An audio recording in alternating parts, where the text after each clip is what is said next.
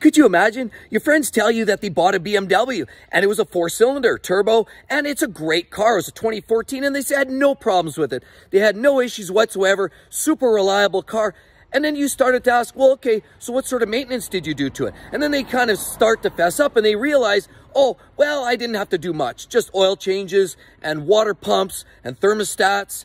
And of course, we had brakes that went and all these other parts, these coolant parts and pieces end up costing me about $2,500.